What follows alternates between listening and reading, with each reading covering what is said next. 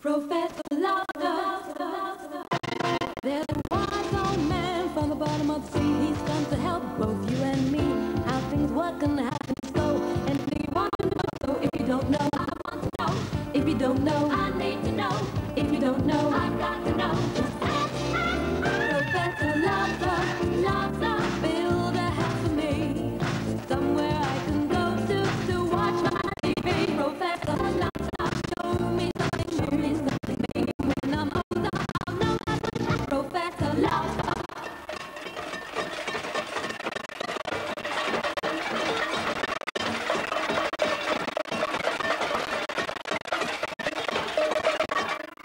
Hello, hello. Hello, so lads, it's Mish. I suppose you're wondering what it's section and materials the destruction. And you, I'm you're a bit noisy. And I've got three teams, black, yellow, also got an assistant. Called, Professor Lobster? This show all two things in it. Well, you know. Well, that was pretty clumsy. But the Professor Lobster show is about how buildings are built and sometimes how they fall down like that. And it's about materials. It's about stone and wood and glass and iron and steel and concrete and old buildings and new buildings, buildings from the Stone Age to the Space Age. And this first programme's about stone. not again. Now, in any good kitchen, you've got you. And this menu has stone on it, tension and compression. It's got and. That sounds a bit boring. What we've really got is Stonehenge and carrots, arches and bananas, and the flying buttresses.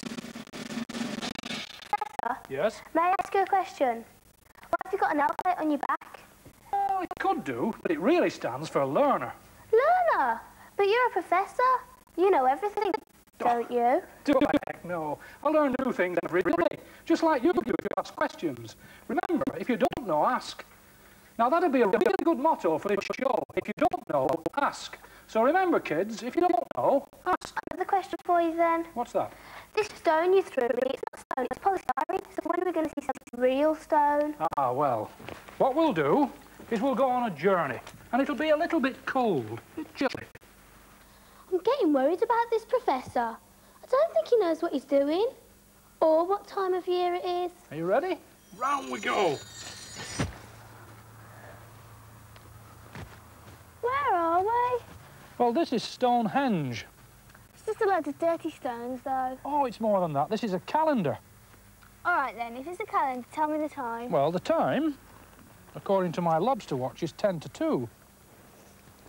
But this calendar didn't tell the time of day. What it told was the time of year. This was to tell the, the seasons, and particularly to tell you when it was Midsummer's Day, because that was quite important. Let me show you why over here.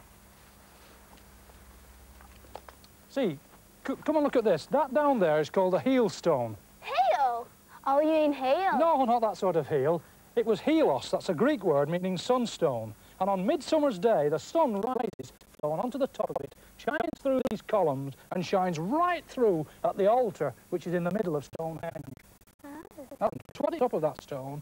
And the people who came to worship here, because this was like a cathedral, watched the sun fall on the altar. It must very, very dry.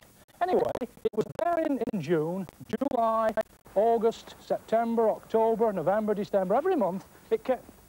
What have you got there? Nothing. Oh, I see. Oh, how does they stay up? Well, they stay up because of the weight of the stones. That big tall one weighs 50 tons. 50 tons? Well, how come it doesn't fall over? Well, because it's dug down into the ground about two and a half metres. Quite a long way, really. It's about, oh, six metres high, and they're also connected together. Well, what's that? Well, th that Thing? there, that little tooth up there on top of the column, is the thing that would go into the socket in the beam. This beam, this one here, sat on top of that once, and originally, that one, you see, looks like this here. This is one of the earliest examples of post and beam construction, and modern buildings today are often built with the same principle. Are they? Yes, even though this is 4,000 years old, you could say this is the start. What was that terrible noise? Well, there are some modern buildings I'd like to see destroyed, but that's another story. What I want to do now is talk about the principles of building construction. And, come on, Al, you lie down here and sit on top of him, and what we're going to talk about is compression. When you build, you build with things that weigh. Stone weighs things, brick weighs things. And he's sitting on him, and what's happening is being pressed downward. Will you organise one of it? Load some up over there now, Liz. Now, what we've got is a compression structure. The weight from this lad on the is a foundation. The weight is pressing down on him. How are they doing over there? So about now, if buildings could talk, they'd complain about compression. Remember, pressing together. But the other stress that's even worse in building is tension. Tension, that's the one where materials are being pulled apart. Now, how can we best describe that, Liz? Where, where are you? Liz? Here I am. Ah, Neil, Chris Craig, come and help me. Oh, you're going to get your own back, are you? Now, that's what I mean. A lot of materials like stone are very good in compression, but they're very weak in tension. Now, tension means when they're being pulled apart. And there are stresses in buildings when they move and when they're pushed by the wind or with the way the structure moves, which stretch the material until finally it gets so far that it has to snap and the structure collapses. Here we've got a model of Stonehenge. Remember, it was about six metres high, and we've got some carrots that represent people. They could be American tourists or Manchester United supporters.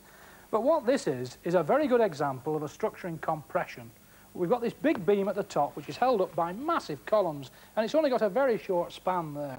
Now, if the span bigger, these columns are a different shape, the stresses on the beam would be very different. At the top, with a load on here, imagine this was part of a big wall, there would be compression at the top, it would be being pressed together, and there would be tension at the bottom, because as this beam bent, it would be opening the bottom of the beam, it would be stretching it. If I put a big load on the top there, it would compress this and it would break at the bottom because of the tensile forces.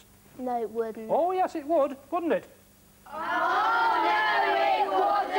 Oh, yes, it would, and I'm going to show you. Now, come on, Elizabeth. You bring me a stone, and we're going to give you our first kitchen demonstration. Now, this is a piece of real stone, Yeah, and it's heavy. and what we're going to do is put it in this device as a beam. There it is, sitting in. I think it'll break. Do you think it'll break? No!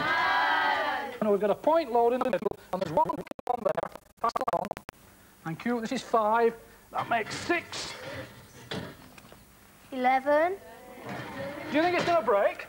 No. I do. Are you sure it's not going to break? Fifteen. To very gently so we're doing it properly. 26. Oh, well, I think it's going to be breaking soon. I'm expecting it was going to break. Do you think it'll break? Oh. This stone doesn't want to break yet. Let's some there. Wow. I thought it was right. You see, with stone tension, bottom of the beam, it did break, and what it showed was that the stone, we couldn't build them. The best way to use stone, look big spun.